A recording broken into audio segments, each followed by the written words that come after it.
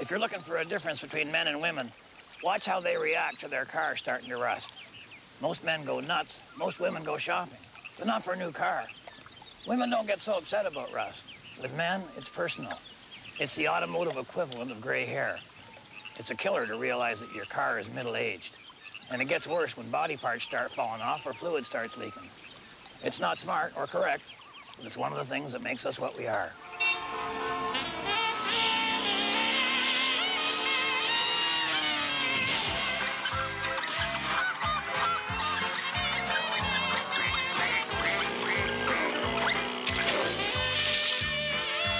Today's show, Glenn's going to show us a little more of how to run a business without working.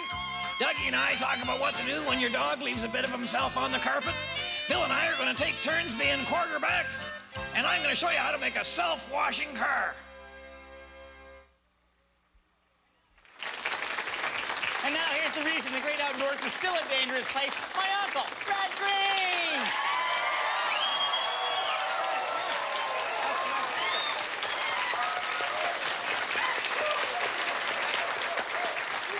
Thank you. And here's the reason the indoors is a dangerous place. My nephew Harold. Big challenge up the lodge this week. Moose Thompson took his truck in to be repainted. Now, usually we just paint the vehicles ourselves, but apparently the last time we did it, we didn't clean up too well, and, and all of the paint rollers were stuck in the trays still. Red, nothing personal, you know, but painting vehicles is a professional trade. And you guys leave fingerprints all over the place. You paint the windows, you paint the mirrors. You just can't do it right. Well, Harold, do right. A professional paint job costs 500 bucks. We can do it for 30. That means we can paint our vehicles every season and still come out ahead. How do you paint a vehicle for $30? The paint costs more than that. Well, the 30 bucks is for the beer. We steal the paint.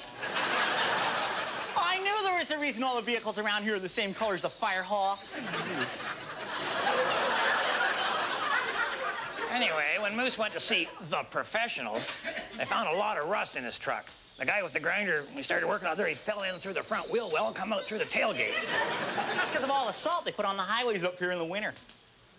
Yeah.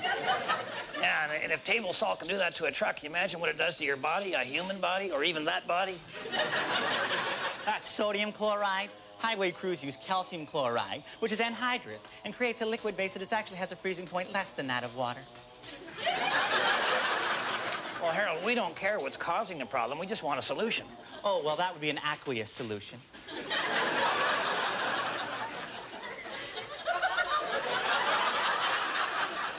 Is there a retroactive abortion available anywhere? Anyway, the bunch of us are going to put our heads together and figure out some way we can rust-proof all our vehicles for under 50 bucks. Well, I think I'll just stay out of the way. That ought to give us a good start. It's not often you'll find this kind of show at these kind of prices. And there's a reason for that. There's no excuse, but here comes Moose, and he hasn't got his shirt on. Like a Kodiak with his hairy back and a week and a half of dirt on. Oh, there's a big roll of fat, holds his smokes and that. It's sure not a sight to please. I'm also told that one of his rolls holds his wallet and his snowmobile keys. oh, there's all his tattoos out there to view. Some of them are really groovy. And it's really neat when he walks down the street. It's like being at a drive-in movie. well, she warned you about that dog. But you told her time and time again, honey, relax. The dog is housebroken. and now there's a soft, steaming treat lying on her favorite antique rug that would tend to contradict that statement. Man, that's funny, you know. Them dogs always find the most expensive bit of flooring to do their business on. I think it's, it's like birds flying south. It's pure instinct. All right, the first step, you got to take the modus operandi of the dog, get that outside, open up all the windows, and if you can, salvage the rug. Absolutely. Now, if you can't salvage the rug, rearrange the furniture a little bit and uh, try and cover that tragedy up. And don't skimp on the air freshener. Absolutely not. Now, if, however, she knows what's going on, well, just tell her, honey, the dog is out in the truck. I could not forgive Fido for doing that unforgivable thing on your favorite carpet. So I have no alternative but to drive him down myself and have him put to sleep. Now, this is a tactic that can only be used by a professional. right? We, we call this puppy poker. right? Of course, you're bluffing, but you got to play the hand. And if you really want to up the ante, tell the kids. Now, this might seem like emotional blackmail, but we are talking about a dog here, man's best friend. The stakes are as high as you can get. Hopefully, she'll fold, she'll throw her arms around Fido, pull him off a death row. But if she calls your bluff, you stand a chance to lose your self-respect and your favorite frisbee fetcher. Well, this is where Plan B kicks in. You zip into town, buy her a dog. One of them soft, cuddly ones look like a mop. You know the ones. And like a cat in a dog suit? Those are the guys. Yeah, yeah, yeah, yeah, yeah, yeah. Let her experience the joy of owning her own pet. The unbridled companionship, the undeniable affection. Yeah, and hopefully when there's another mess in the house, there's a 50% chance her dog done it. well, everybody painting their car up at the lodge this week, I thought I'd take Handyman Corner and show you how you can prevent your car from aging, weathering, rusting, and generally looking filthy all the time by showing you how to build a self-contained automatic power washer that'll keep your car continuously clean. All right, now the first thing you're gonna need to make this unit are some sprinklers. Would recommend you use sprinklers. And you know, you can get sprinklers pretty cheap from your neighbor's lawn while they're in bed. Now what you want to do is to mount these various sprinklers right onto the vehicle. You can use rivets for that, or you can weld them on there. Or if you work for the government, you probably have time to sit and magnetize them. But I'm going to use the handyman's secret weapon, duct tape. Now you're gonna need a source of water, one that moves along with the car because this is a mobile wash, isn't it? And you know, we have a source just like that right here. The water pump and radiator. Now, if we could just think of a way to tap into them. There we go. All right, let's give our mobile car wash a try.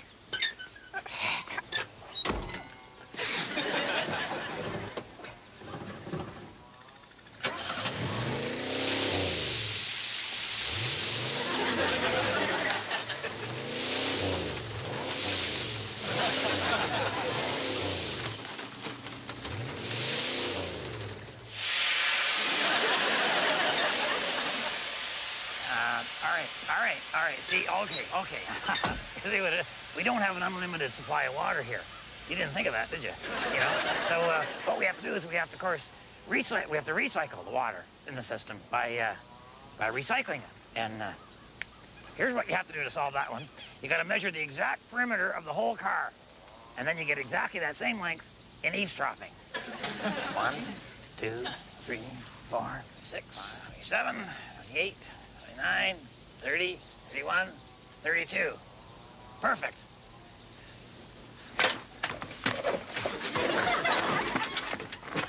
Real glad I didn't use rivets or bolts when I put this up last year. Now we'll get this down and we'll hook this all up to the car, right around the whole outside of her, using rivets or bolts, or, that's right, nothing lasts forever except an Italian wedding. Now, this might take me a while to get her all down and hooked up, so why don't we get back to the show and I'll come and find you when I got her all done. Stay tuned. I got some advice for you middle-aged guys about playing cards, and then Bill's gonna go long. Probably too long. I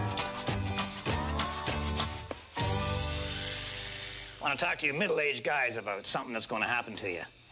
Now, you may try denial for a while, you know, buying a toupee or a two-sided tape or a two-seater car. But no matter what you do, sooner or later, it's going to happen. And when it does, you'll know you're over the hill. Now, it may happen next week or next month, but eventually, that's right, someone's going to invite you over to play bridge. I know. I know, don't be alarmed. Playing bridge is a natural part of the aging process. Your parents had to deal with it, and now that you're old, you have to face it. Don't fight it. Just go with it. Bridge is not that bad of a game. There's no loud music, and you don't have any kids whining at you for their allowance or the car keys. Plus, you're playing with people your own age, so they'll be just as bored as you are. and you don't want to be alone at our age. Bridge is a lot better than solitaire. Remember, I'm pulling for you. We're all in this together.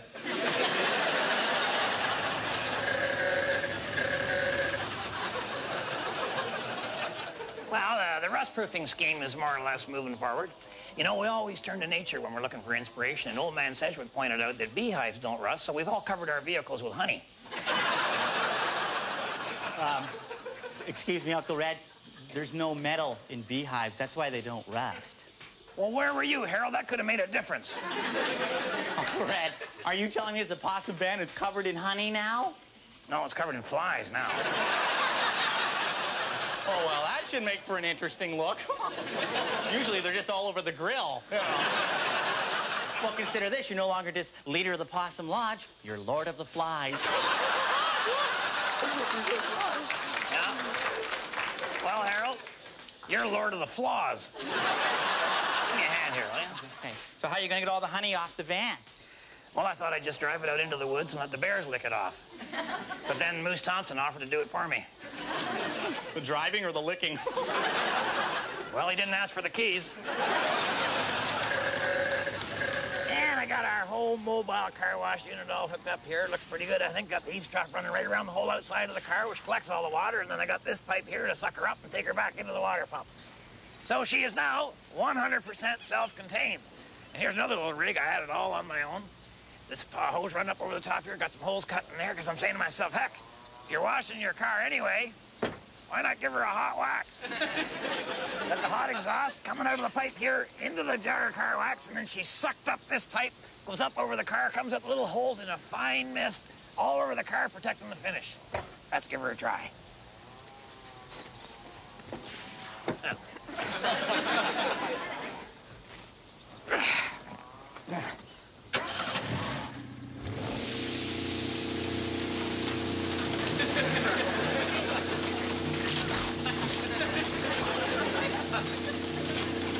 right, blinkers off. Hot wax on.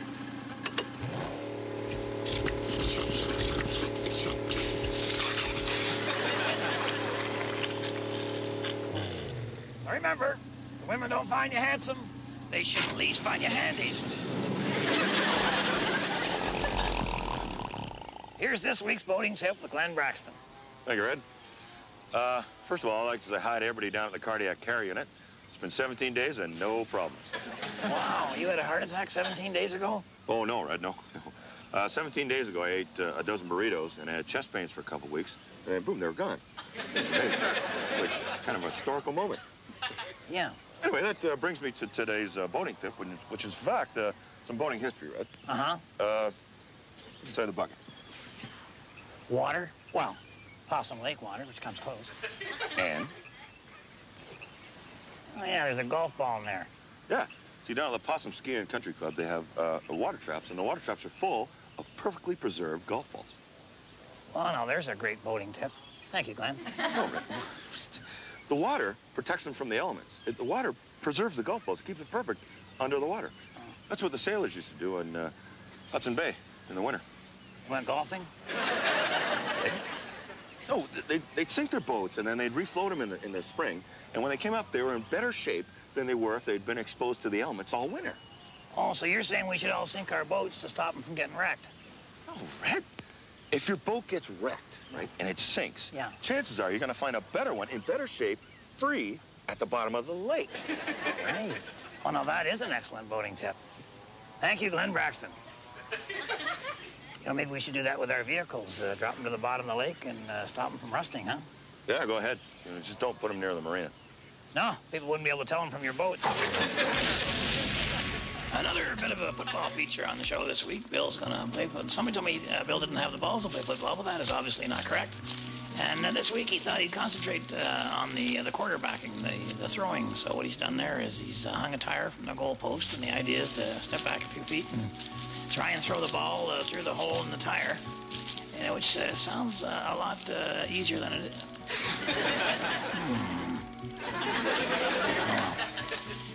Now, you know, the, one of the, the biggest commodities you have in your life is, of course, is your time. You know, they say that uh, one year in a dog's life is uh, equivalent to, I believe, seven years in, in the life of a human. Well, I can tell you, one hour with Bill is like seven years of a dog's life.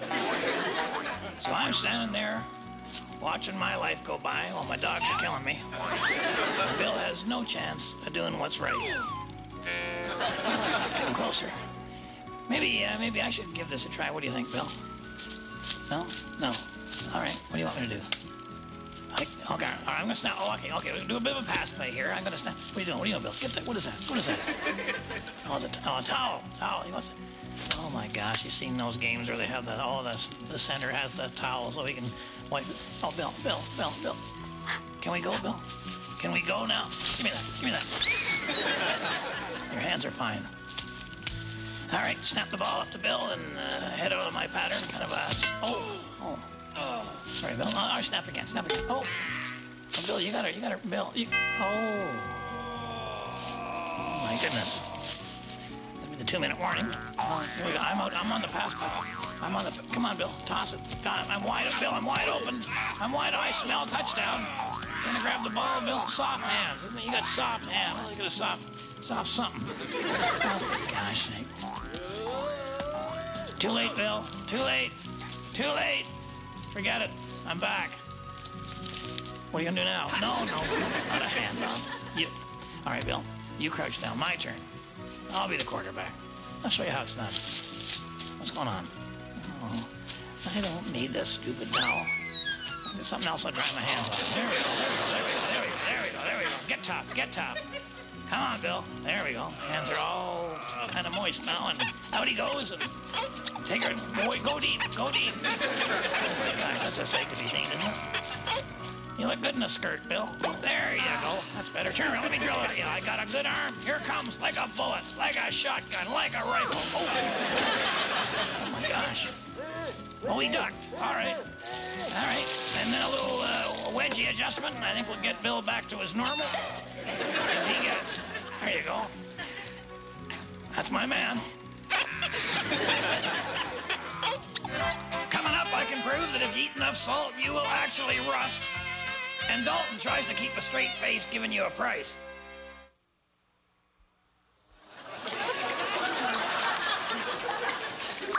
Wow, this uh, submerging the vehicles for the winter thing, I don't think it's going to work out so. You know, Uncle Red, you do not have to take every suggestion somebody gives you. You can say no, too. Harold, if I took every suggestion, you wouldn't be here, believe me. Anyway, we tried the sinking thing with Stinky Peterson's Trabant. We got her down there, and a lot of the stuff floated up from under the seats, and oh, made our eyes water, killed half a dozen rock bass. You cannot leave his car down there. It's an environmental hazard. Whereas you're just a mental hazard. We're gonna get the car out of there. That's what the jumper cables are for. Uncle Red, it's not going to start underwater. Why don't you just pull it out with a chain? Because you also have to consider, you know, you can lighten the car's load if you wind up all the windows and fill it full of air from a bicycle pump. Yeah, that's exactly what we're doing here. It won't work.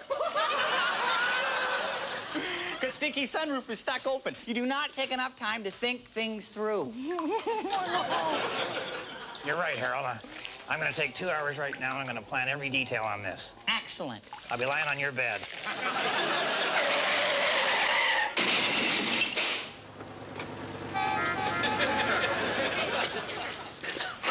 You know, they say there's a place for everything and everything in its place. And here we are out by the main highway at the everything place, Dalton Humphrey's store. Dalton people might drive by this place and assume that it was a junkyard. Well, you know, Red, one man's junk is another man's objet d'art. now, what do you think this is? Huh? I would call that scrap metal. Yeah, yeah. To you and me, maybe. But to someone from the city, that's a precious little decorator accent that just oozes charm and history. 30 bucks worth of charm and history. No kidding. Yeah. Imagine what you'd get if you fixed it and painted her. Hey, why don't you drop this by the lodge later on? We'll slap a coat of paint on that while we're doing our cars. Oh, that's a lot of work there. You know, you just can't paint metal. You gotta scrape all the rust off. You want to do that with your cars, too, otherwise the rust just comes right through. Oh, man, that's a lot of work. Yeah, yeah. Well, see, I'm not going to do it to that piece because that would ruin its value. It has to be in unrestored condition. This is how Dalton gets people from the city to come up here and give them all kinds of money for junk. Well, you know, I know every item in my inventory. I know what it costs. I know where it is. And a customer asks, I know what to show them, what to charge for them, and how to keep a straight face. you know, you're trying to sell a guy a broken shovel for 60 bucks. I mean, you try not to laugh, huh? Pick something out outside. I'll show you.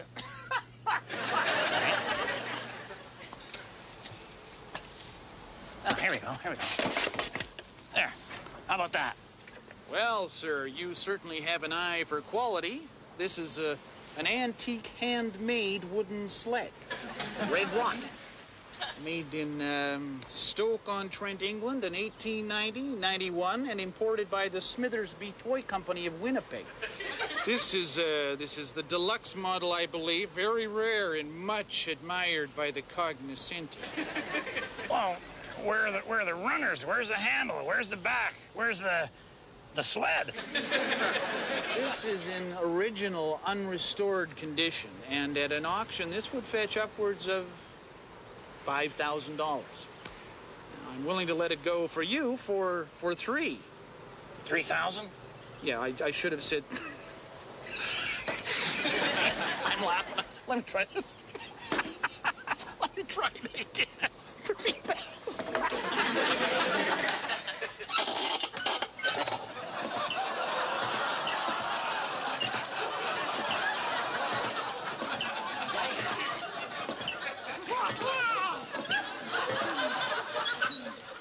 what happens when you try to do things right? A bunch of us got out the steel brushes and the sandpaper there and tried to get the rust off of Stinky's car. Well, looks like you got most of it. We got all of it, Harold.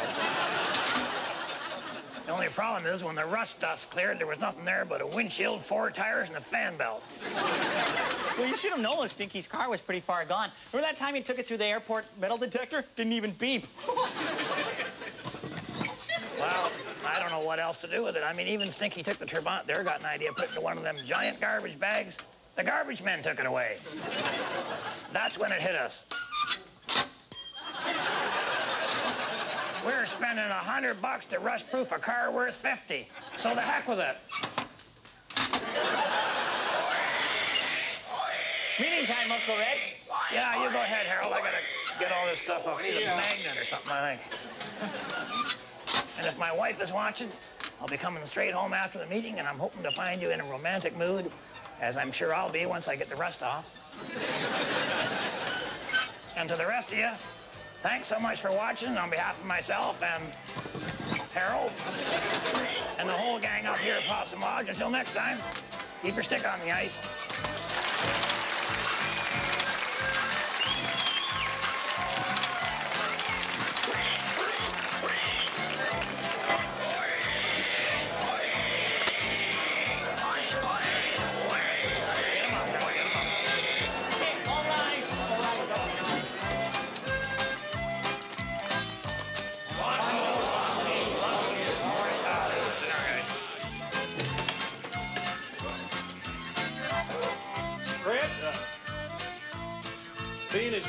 The size of basketball.